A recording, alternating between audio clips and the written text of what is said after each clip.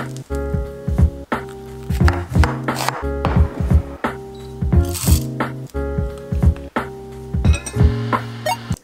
morning guys. So today I'm gonna film uh, what I eat in a day. I'm working from home today so I have a little more time than usual. I also woke up early so that I can film the breakfast portion. But yeah, I've been really trying to try more new recipes. I honestly had a phase where I would just literally cook the same five meals on rotation because that was just the easiest. Um, but right now I'm getting a little bored of that. So for breakfast, I am gonna be making a miso soup and I'm gonna try and make uh, one of those Korean Japanese egg omelets, but I'm not gonna use like their the usual ingredients that they'll include. I'm just gonna do my normal like what I put in a scrambled egg, which is like egg, spring onion, salt, but I'm gonna try and make it into the shape. I think one of the things that people when you live alone you need to learn is how to make one portion size and how to know what your portion size is because all recipes tend to cook for like two or four. So right now I'm gonna make one bowl of miso soup. But yeah, let's get started. What you're gonna need is, of course, miso paste, a non-negotiable, I think. Um, some tofu. So I have dashi stock here, and um, this will just add so much flavor to the soup, but you can also just use vegetable broth that's what i heard. But this will really give it that like umami flavor. Um, and then i'm gonna put in some spinach but usually i think they put in more hearty greens or you can even put in like zucchini. Um, but i don't feel like eating too heavy this morning. And then uh, green onion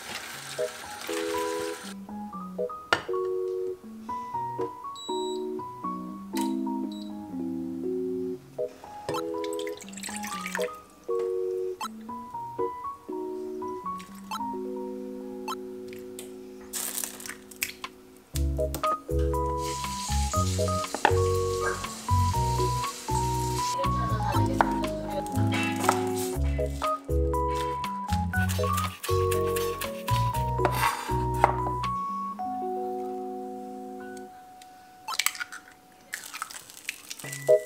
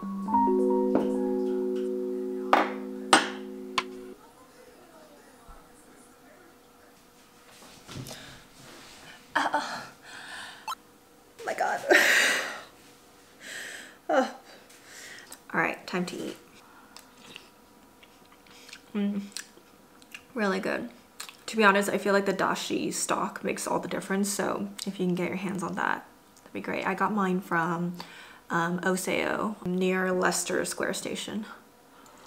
Mm. Really good. And actually the egg roll was easier to make than I thought. I would just normally scramble it to be honest, but I think I'll try adding the um, like ham and like onion and bell pepper like they do um, in for the Korean version. But I feel like it also makes the volume of the eggs more for some reason. I don't know. Like it feels like there's more eggs than two when I look at it. Mm.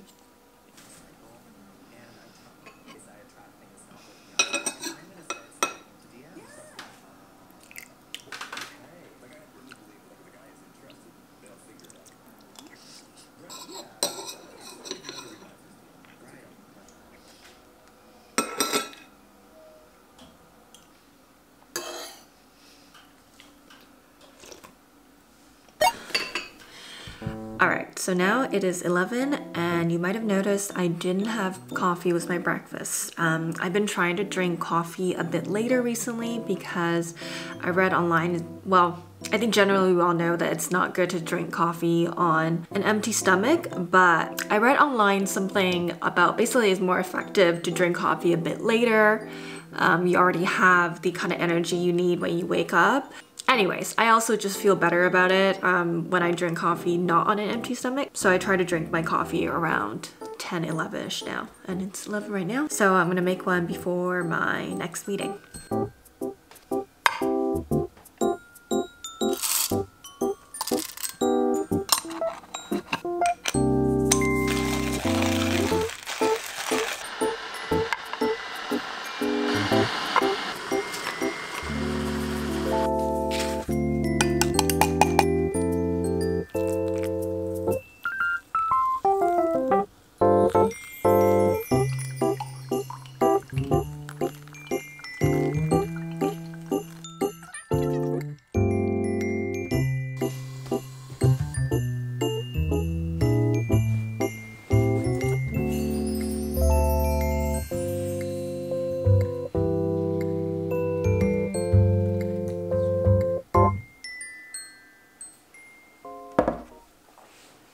It's technically lunchtime, but I'm like still quite full for some reason.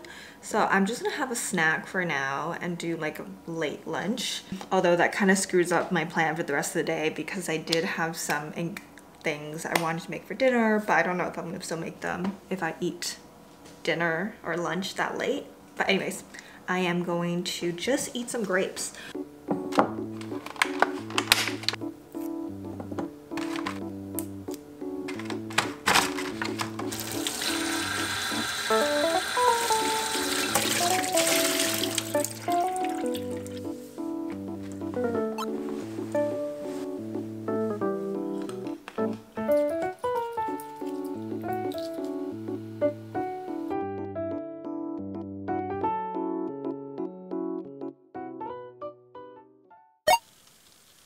Seems a bit late. It's five now. I kind of missed my timing to eat lunch because I got busy with work. I have a yoga class at 6.30 and I was debating if I should just eat after, but I'm getting kind of hungry now. So I'm gonna try and make this in 15 minutes and then hopefully I have time to eat and digest after. But I'm gonna be making a bibimbap for lunch. I think I've done this on the vlog before, but it might have been a while ago. But I make a really simple version. So I already made my rice because I'm in a rush and I just do it on the pan on the stove because I don't have a rice cooker. And you can basically add whatever you want, but what I like to add is a carrot, bell pepper for kind of color and flavor. I'm gonna add spinach again, but sometimes I use cucumber too. Like fried cucumber is really good. And I'm gonna add like a bit of zucchini, not the whole zucchini. And then I have ground beef um, that I'm gonna saute with a little bit of onion. Um, and yeah, let's get started. I'm gonna try and do this in like 20 minutes.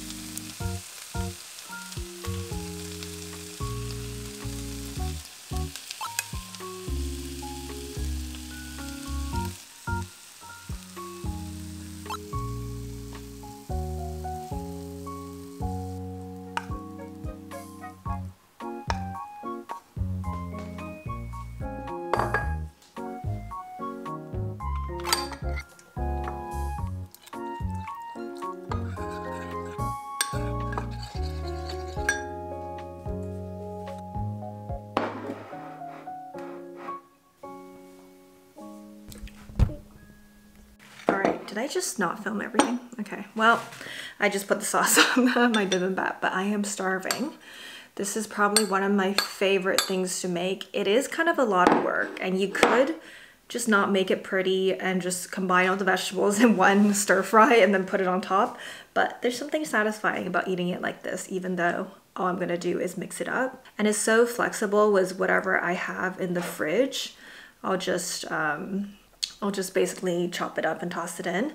And you really don't need like a fancy bibimbap sauce. Um, like just the gochujang is really good. And yeah, I just love the combination of like the meaty flavors with that it's a little bit sweet because I add sugar in it and then also all the vegetables crunchy. I don't think I'm to be able to eat another meal after this. I might have a snack. We'll see. So I finished Transit Love.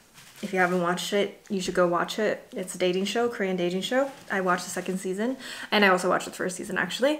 But oh my god, second season so much better and so much more dramatic, but at the same time way more heartfelt and like everyone was so good on it, the show. I moved on to Pink Lie. It's another Korean dating show.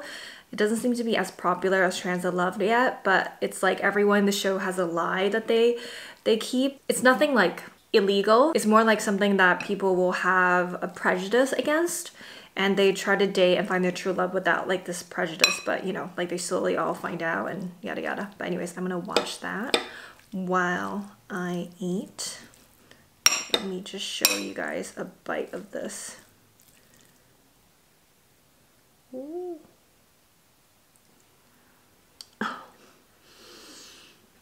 Mmm. Mmm, mmm, mmm. So good. I usually have a little more kimchi on the side so I can top it every bite, but I'm too lazy to open a new bag of kimchi right now. 데이트를 합니다. 우와! 문자를 받은 주소로 가면 오늘의 데이트 상대를 확인할 수 있습니다. 우와! 오늘 열명 다. 어, 무슨 우리 망가진 줄 망가진 줄 알고. 아, 난상안 와봐. 막내 아들. 일곱 명이면? 음, 걱정은 되냐? 어,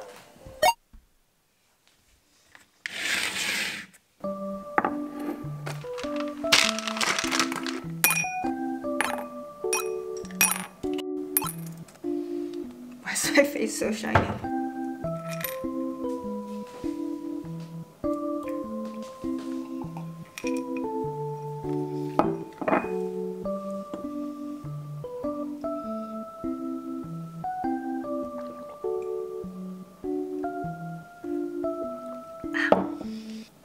All right, I think that's the last thing I'm gonna eat tonight.